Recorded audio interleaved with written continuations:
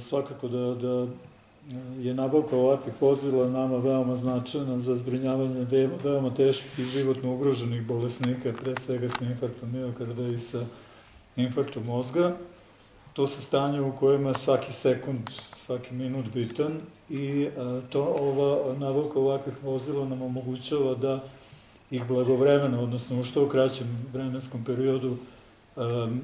uputimo i ovaj, kako se zove, da oni stignu u ustanove tercijarnog, tercijarnog nivoa u kojima će biti određene procedure koje su, koje su definitivno zbrinjavanje i spašavanje praktično njihovih života. Dakle, više ne moramo čekati na njihovu stabilizaciju stanje potpuno i ovaj, uvođenje u, u jedan transportabilni a, period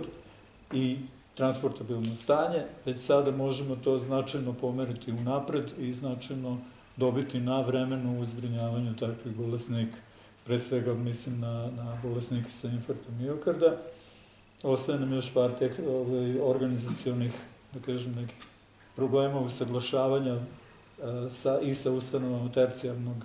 značaja, da ovaj, sa njima dogovorimo praktično celokupnu ovu e, način način transporta i način prihvat, njihovog prihvatanja u tim ustanovama, što nam sad ova, ovo vozilo omogućavaju, naravno, blizina Niša nam je tu veoma, veoma bitna. Isto važi i za bolesnike sa, sa neurološkim deficitima, odnosno sa neurološkim oboljenjima, odnosno infarktima mozga, gde je takođe ovaj, u, u što kraćem roku potrebno njihovo zbrinjavanje.